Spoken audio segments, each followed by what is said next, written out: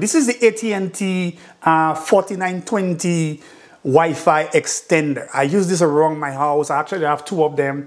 There's one right here right now that I use with my computers right there and I also use it with my ATEM mini. I'm actually using this through uh, internet cable right there. So it's almost like a wireless internet wireless wired internet cable connection right there. So you can bring this basically to any room. So I have this in this small room here where my Wi-Fi doesn't work strong enough here sometimes on my computer and I plug in my internet cable at the back here you have two, two areas here you can connect two different devices here directly to um, any other device that you have, your laptop or whatever it is. I'll basically walk you through the process of connecting these. You can get these from AT&T.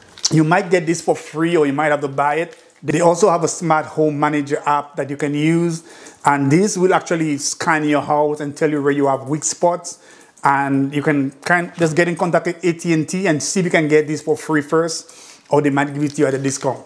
But let's go ahead and connect this one here. I already have this one connected on, on 2G and 5G and we'll work this out. So here we go, we are the router box right now. We're gonna plug in the extender. A few minutes, it's gonna take a while to, it's gonna power, it should power up right now. So we're gonna wait for that. So the power is on right now. We're gonna go into our on our router and we get WPS button right there. There's a button right there. You're gonna press and hold it down and it should turn green and start blinking.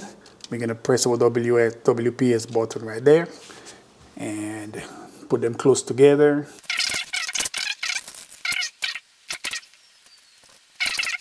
So here we go.